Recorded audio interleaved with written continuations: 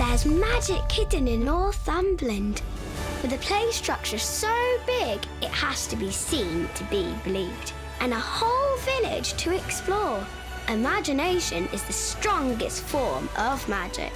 Lilidorei at the Alnwick Garden, open now.